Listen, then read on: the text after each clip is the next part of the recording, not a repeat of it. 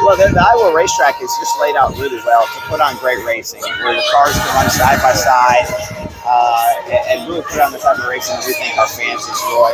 Uh, super competitive, uh, great layout where the fans can see the racetrack from all different angles. And it's a great experience. So uh, for all the parties, and I think that's makes it so How do you think Iowa sort of be welcoming uh, this Cup Series? Well, if, if the state of Iowa welcomes us the same way they did when we came here for the Nationwide Series for an inaugural event in 2009, we're going to be blown away.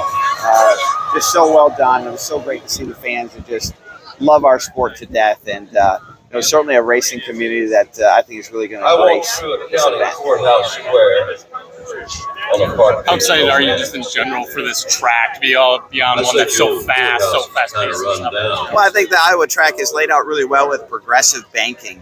Uh, and that progressive banking allows the cars to race in all different spots. And uh, then you can really make moves as a driver, and that's a lot of fun. Have a seat. Do you think NASCAR's made enough moves to their short track package or in a direction that gives you confidence that this product can be well at Well, the big thing about this track is it's somewhat agnostic to the cars because uh, of the progressive banking. You find different areas to run and make speed, and I think that that kind of works its way out. Do you, would you compare. Iowa closer to uh, intermediate on the schedule today or a short track like Richmond? You know, it's, it's really not a short track or an intermediate. It's its own type of track. It's got its own identity. I think that's really important too. It's one of the great things about that facility is uh, there's nothing else like it. They mentioned possibly repaving the track. I know there's a lot of talk about the bumps and things. How would that improve it, or how would that change it? Well, I can't speak too much about it. I haven't been on the track in a couple of years to, to know uh, the condition of the pavement, but there's always investments being made, and I- I'll defer to the experts on that.